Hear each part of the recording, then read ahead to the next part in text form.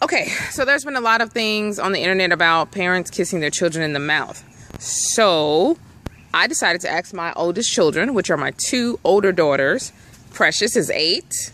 Wave, Precious, yeah. And Princess, who is six. Princess, wave. We got to make this quick. Okay, Princess, tell me, what are your thoughts on parents kissing their children in the mouth? I think it's good because you're not some girl I know. You have to honor your mother and father.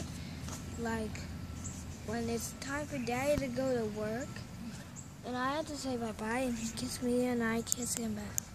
Okay, and what about mommy? Kiss mommy in the mouth? Is that okay? Yeah, that's what right where you're saying goodnight, because you don't go to work.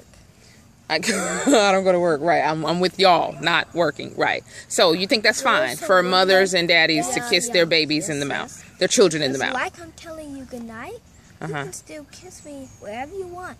On the forehead, on the cheek, or just on the lips if you want. Okay, Precious, what do you think? And be I quick about you it. should You think you shouldn't? Why not? because you have to. Look be, at the camera, baby. Uh, you have to be a certain age. You think it should be at a certain age. So is it okay if I kiss um, baby Promise in the mouth? What about Priya, who's two? Yes. What about Prince, who's five? Uh, yes. But what about Princess, who's six? No. No? That's too old? Mhm.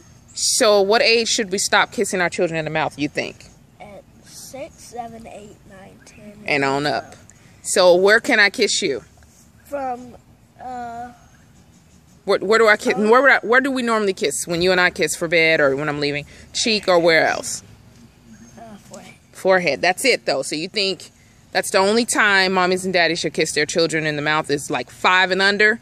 Anything over that, cheek, forehead only. Okay, you've heard it from the V Force girls. That's their opinions. I'll explain what I think.